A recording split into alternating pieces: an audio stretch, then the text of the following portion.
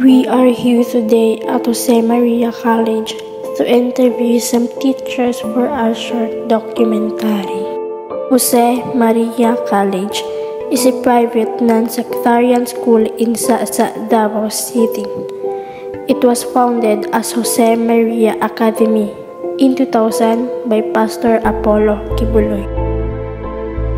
We are here to interview one instructor at the school since we have chosen an academic institution.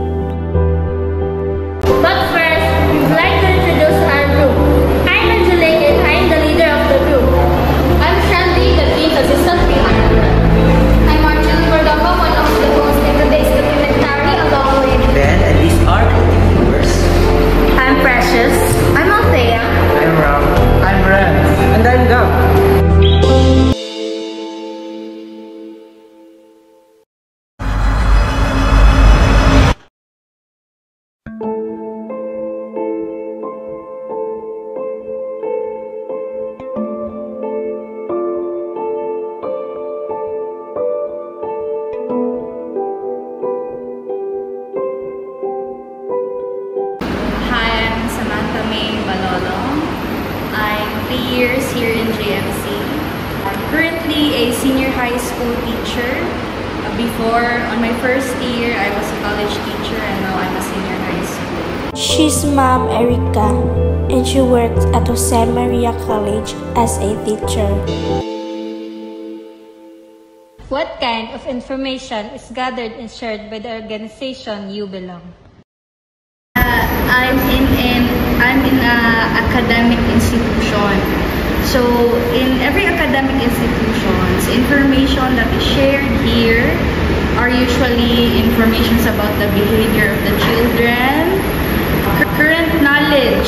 So education is all about lifelong learning.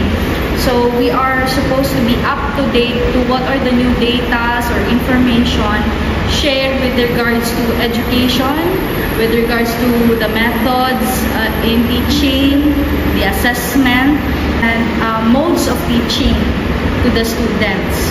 So yan yung ano ng education. What is the significance of this information to you as an individual?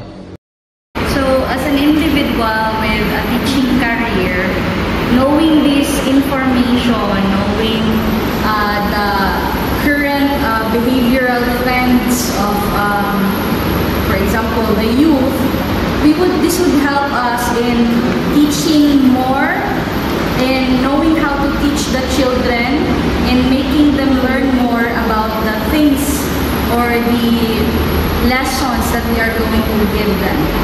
So, mas mapadali nito yung work namin as teachers. Which information providers aid the organization in gathering data? So, uh, information gathered by uh, this academic institution are usually about Uh, if we do research, we would research about behavioral behavioral approaches, behavioral strategies, and how we will deal with the children. So that's the usual information that we can gather. And each of the students, they give the different data because each of the students are unique. So there are a lot of, uh, for example, if we do case studies about the students, so uh, researches is also important